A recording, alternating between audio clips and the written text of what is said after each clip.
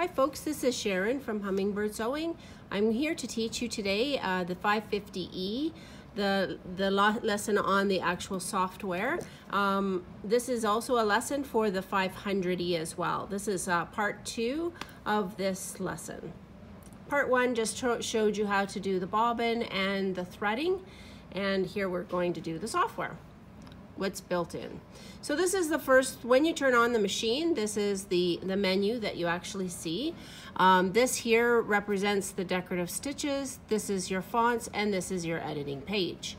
Um, so we're just gonna go into your editing page, um, and I'm going to get a retrieve a design. So we're gonna press the home button up here, and press the decorative stitch, or decorative design, whatever.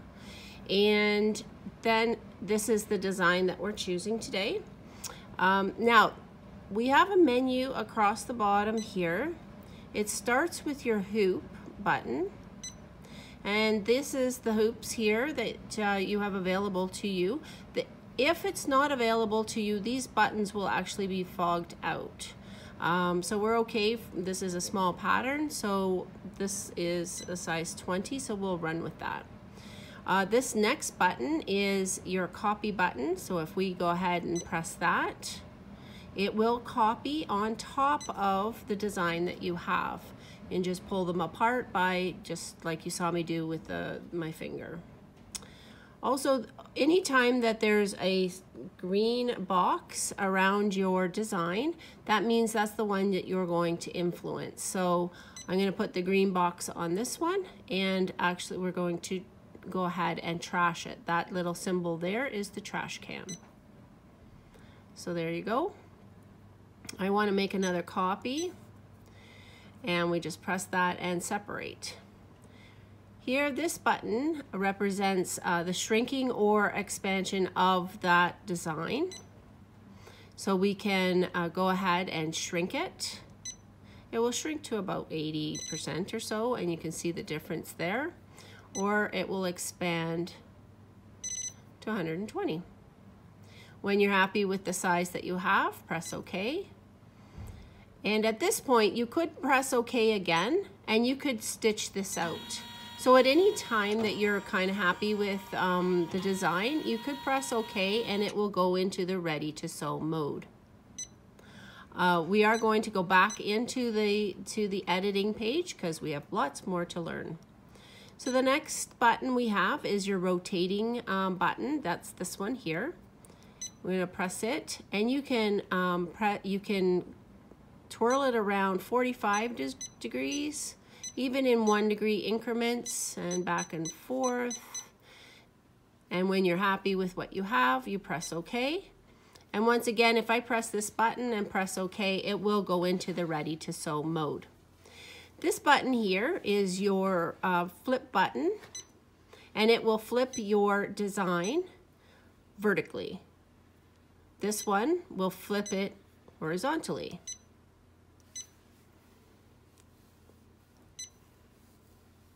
This button here, oh, this one, this actually is fogged out because we don't have any letters. Um, but let's get some in. So if we put in our letters, You'll see now that it is um, lit up, so we can influence that now. So if we were to go on to this, we could arc our letters here. We could arc it this way, or we could arc it the other way. See how the, the letters are scrunching up together? That's what this side is for. They will actually, if you press the up or down, they will separate, or the down will bring them together again. Press OK when you're happy with the design. To go on to this one, uh, this will actually group your design together. So if we press this button here, what this will do is put group them all together so that you could uh, play with it that way. We're not going to do that today.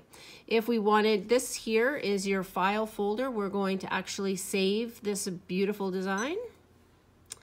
By saving it, we're going to call it ABC, press OK, and then it will be saved into the machine when we press OK. To retrieve this file, we press this button up here and you will actually see it on your second page. So this page, you don't see it at all, but then you'll see it on your second page and that's your square uh, 20B hoop. And there it is there. So you would just press that and then press OK. And once again, you can go into your ready to sew mode.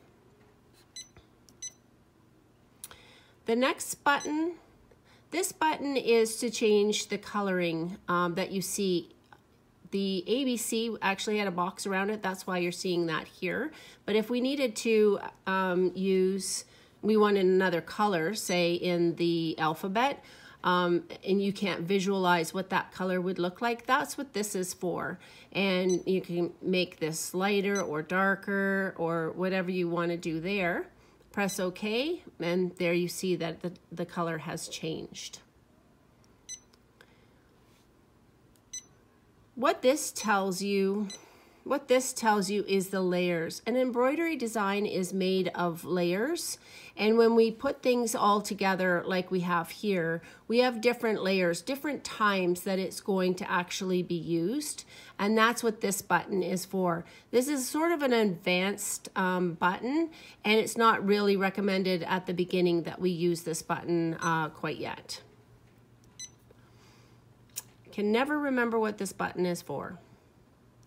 So we'll move on to the next because I will and I'll know what it means in a minute.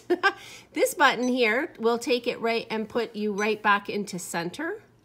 So anytime that you're kind of like, is, is that about center or you're kind of wondering about that, that button there will pop it right into center for you.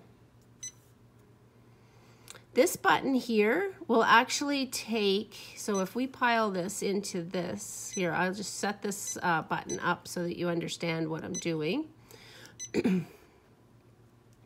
so say we have a design that requires this, oops, sorry, that requires this beautiful design in all four corners. So this is a, a perfect little button this button right here. This one's a perfect button if you have, um, like say, quilter's labels that you wanted to quilt, many of them. And of course, a quilter's label is just a small label. Um, you press this button and it will actually put all of them, all of the designs in the quadrants of the hoop for you.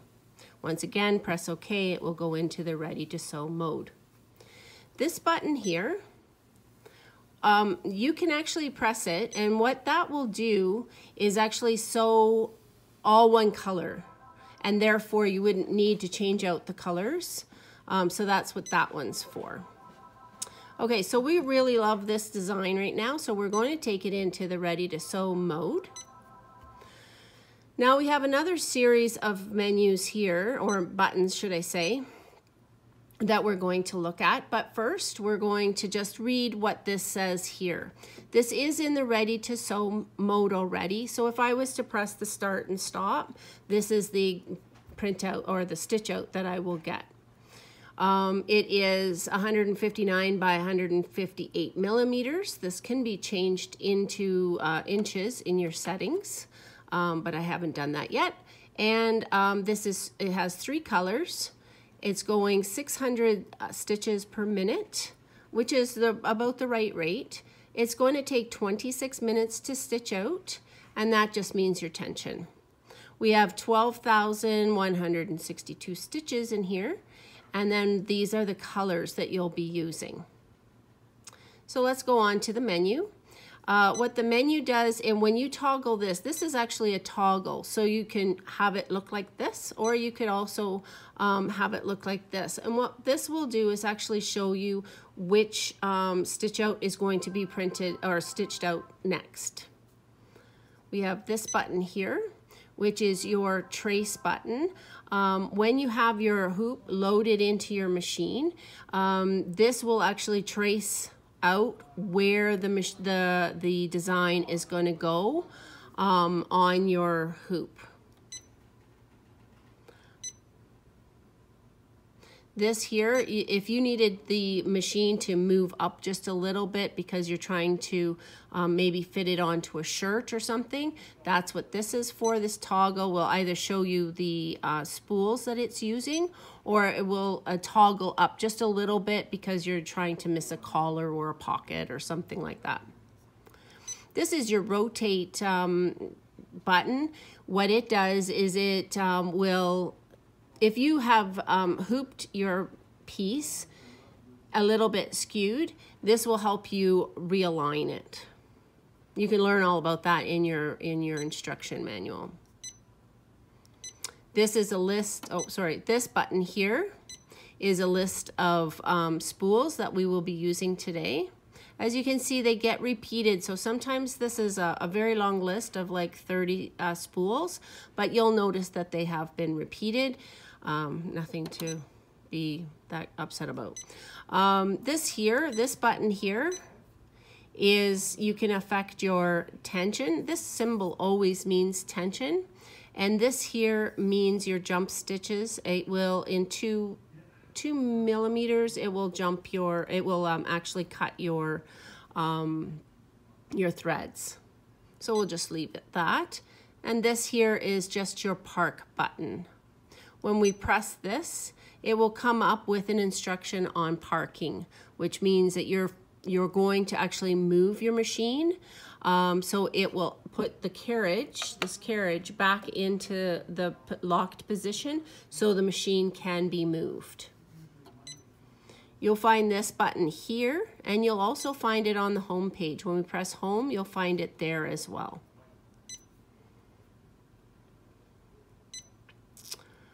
Okay, so I'm just going to erase all of this. We're going to play with our fonts for a little bit. We're going to go into our font button. So I pressed home and then the font button. ABC, we'll bring that in like I already did. And then what you'll see here is that you can bring it in horizontally. You can bring it in vertically so if I was to press this and go A, B, C, I've just brought it in vertically, okay? Also, um, here in this button here, you'll have small, medium, and large. Right now it's on medium, but if I press it, I can make small, but, uh, small letters, large letters, and there's my medium one. Press OK, and it'll come on to your um, onto your screen, onto your editing page. And it came in vertically because I didn't press that button back again, but that's okay. So we'll just press it back. Um, this button here is for your lowercase and uppercase um, letters. So there's your uppercase and here's your lowercase. Okay. Here is where, actually here is where you'll, you'll see all the different fonts that you have. You can pick any of them and you'll get your, your script or whatever one you pick. Um, you will actually have access to 11 more fonts in your um, embroidery, embroidery editor. Okay, and that's a little bit about fonts. I want to take you into the settings right now. Right now we have the common settings, which is, this is just your screen contrast. You can play with this uh, depending on the lighting, things you want to make darker or lighter. I don't know if you can quite see that on the screen. Um, the volume, you can, you can make it lower. You can turn it off if you wish. Or you can make it louder as well if you, if you can't quite hear the volume. This is where you would change it from inches to millimeters. I'm going to change it to inches. this is your touch screen calibration. What this is, is if you happen to have something that's going on with your hands, maybe like arthritis or something like that, you can actually press this button here. And when you see the X, you're going to press it. What that's doing is it's telling the machine just how hard you can press uh, the screen and calibrate it to your touch. This is not a necessary step if your hands are fine and, and um, you, you're not having an issue with your with your hands. Uh, this is just the formats. There's two formats. There's the USB and there is a built-in memory in this machine as well. Standby timer just means that this will close down in 10 minutes. It will just go to sleep and the start and stop button will still be on unless I turn off the machine. The upper thread sensor is um, just telling you um, that when it breaks. So then you'll have a little symbol that says, okay, broken thread. That's what that's for. So we'll leave it on. Your sewing light will leave on and quiet mode will turn off because we want to hear the sounds that the machine is making. Clean your bobbin message, leave that on. Um, the That is a good little thing to have um, if the machine is detecting any kind of threads that have ended up in the bobbin uh, hook area. So leave that on. You can change the color of the background of where you're working. Um, that's fine. And if you've messed up or want to go back to defaults, you just press this button here. Now this, this button up at the top is for the embroidery part. Um, this is the auto tension. Um, you don't need to play with these ones, this one here. Um, it's pretty much set where it should be. Um, if you're finding that there is a bit of an issue, you could either increase or lower depending on what's actually happening with the, the stitch out. Remaining bobbin thread. I usually turn this one off and it is off already. It will, you, what you'll see when you first show, when you first go into the setting is you'll see it on two. That is the default. Um, what I find is that the thread that is used on the on the bobbin, the remaining thread, is um, a little too long for um, this, a little bit too long before it will actually tell me that the um, the thread is out. So I actually turn it off and I pay attention to um, the thread myself. The speed, maximum speed is 600 um, stitches per minute. You can increase this. What this does is uh, it'll stitch out quicker, but it is wear and tear on your machine. So we do recommend that you keep it at 600. You can go slower too if you're going through something that's fairly thick. That's a wise thing to do. Uh, one stitch stop, um, what that does is it'll just do the one stitch and wait for you to um, cut the thread and we don't need to have that on right now. Um, consecutive color grouping, it will group all of your colors together and we have that on right now too and you don't need to have that difference, that changed. A hoop confirmation just um, gives you a little bit of a warning um, before you're actually going to sew out. What this does is um, just gets you aware of the machine again. I, it's a good thing to keep on. And the hoop calibration, that kind of takes care of itself as well. Thread cutting is on. We always want to cut our threads. It will cut to an eighth of an inch. And then you can read the other things that are there. You can just keep those the way they are. All this thread selection is for is if you wanted your, um, if you are somebody who uses, say, um, Robison Anton um, polyester, you could press this and then when your um, designs come up on the on the actual machine, you'll see them in the a Robison Anton numbers. Um, I don't usually mess with this part. And the grid line um, is for the um, editing page. You can have it on or off. We usually just keep it on. And this grid size is how big the actual little squares are. So right now it is set up so that it is the same size as your template. And your resume mode, I have that on. What that, if I was working on say a large project, um, having that on will just give me a bit of a reminder at the beginning of my work. It'll come up and say, do you want to resume the last pattern? And then I say yes or no. So there we are for today. Um, oh, mm, just going through one more thing. I see the lock button here. This lock button is for when we change our uh, needle. And um, it is important to actually engage it so that um, the start and stop does not work when we change the needle. So that's all I have for you today. I do hope that you um, are enjoying your machine and um, if you have any other questions you can just give us a call at Hummingbird Sewing and um, we can try and help you out with that. And uh, thank you for watching today and enjoy. Bye.